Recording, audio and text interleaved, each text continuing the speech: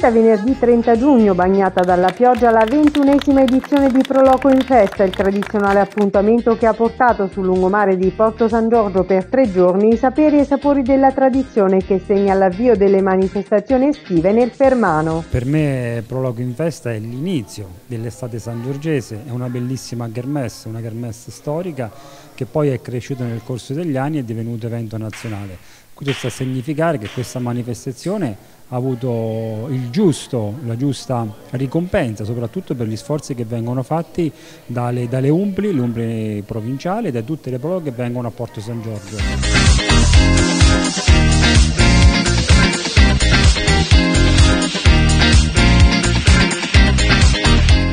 Una manifestazione nazionale per l'Umpli che ha visto impegnati oltre 500 volontari che per tre giorni fino a domenica 2 luglio hanno fatto gustare al pubblico di visitatori e turisti i sapori tradizionali del territorio.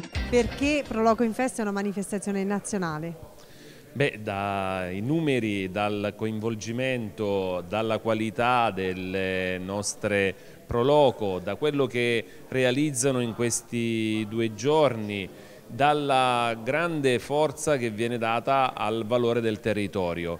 E allora eh, tutto questo fa parte della nostra storia, delle nostre tradizioni e allora abbiamo voluto dare questo eh, riconoscimento ad un territorio e a una eh, manifestazione che rappresenta sempre di più un'eccellenza a livello nazionale. Per la Regione Marche Proloco in Festa rappresenta una grande vetrina in un settore, quello enogastronomico, davvero trainante. Sicuramente è qualcosa che a noi come amministrazione regionale fa piacere e interessa, tanto da, da sostenerla anche economicamente, perché riteniamo tra le altre cose assolva a quello che è una delle prerogative, uno degli impegni che ci siamo dati, quella di eh, fare promozione, mh, mettere un po' in evidenza, far conoscere le nostre eccellenze enogastronomiche e ricordo che c'è un dato che testimonia che il 20% di quei, dei turisti che vengono nella nostra regione vengono per motivi enogastronomici, questo conferma che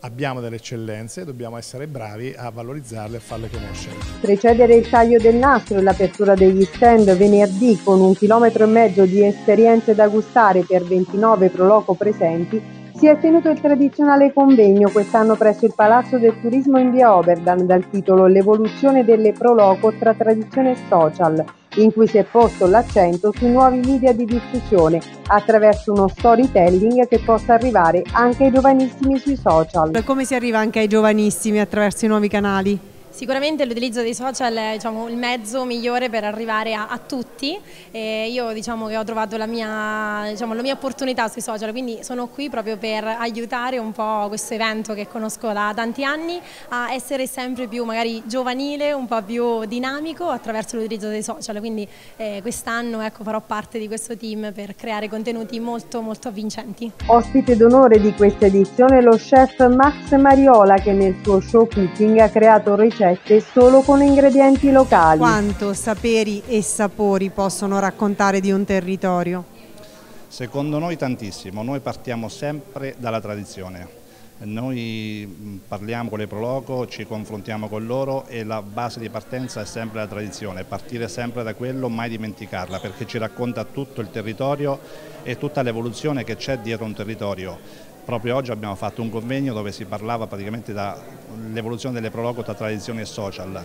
I social ovviamente ci aiutano a, prom a promuovere i, i, prodotti, non devono cambiare, i, i prodotti sono quelli sono, quindi è importante puntare su di quelli, farli conoscere perché ne abbiamo tantissimi e tutti di una bontà assoluta.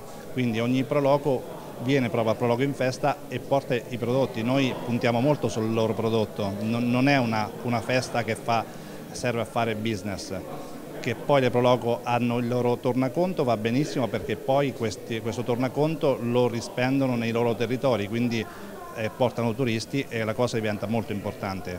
Però partire sempre dalla tradizione e dal prodotto che ha, la, che ha il proprio paese e la propria città. Grande entusiasmo da parte della Proloco di Porto San Giorgio che con il nuovo direttivo si è affidata per questo evento al supporto di Umpli ed ad un format storico ormai di sicuro successo.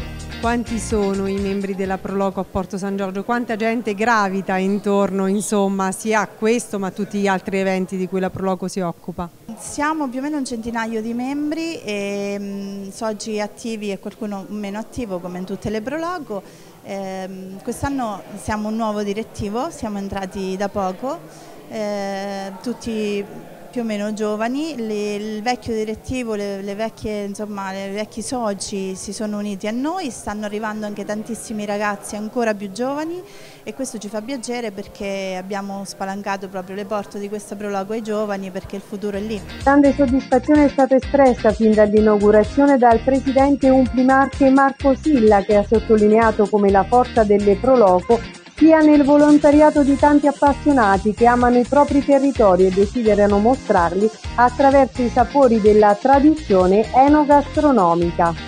Proloco in festa, come ha detto lei ancora una volta, promuove la tradizione. Noi vogliamo fare proprio questo, cioè non dobbiamo scordarci il passato, la tradizione c'è ed è il soggetto per dare eh, voce a tutti i nostri social, quindi tutti quelli che ci danno la possibilità di farci conoscere. Non dobbiamo mai dimenticarlo perché se ci scordiamo il passato poi non possiamo andare avanti nel futuro. Questo è il nostro territorio, la nostra forza, il nostro know-how per quanto riguarda i nostri volontari. Eh, come diceva una volta un sindaco, una fetta di salame presentata da un volontario non è come quella presentata da un'azienda, perché lì c'è amore per il territorio, non c'è eh, un'operazione di lucro, quindi lo facciamo per passione, quindi questa è la nostra, la nostra veramente la nostra forza. Mm, I nostri 500 volontari che stanno qui su questi, questo chilometro e mezzo di, di, di lungomare possano sì che si passi una giornata di festa, perché questo deve essere lavorare insieme tra tradizioni, fare amicizie, condividere eh, la fatica, condividere le, le, le, gioie, le passioni. Questo deve essere quello che porta poi a eh, lavorare, come ho detto, insieme e quindi creare quella rete che noi stiamo cercando insieme all'Umbri nazionale e all'Umbri provinciale di mettere insieme di questi, questi volontari.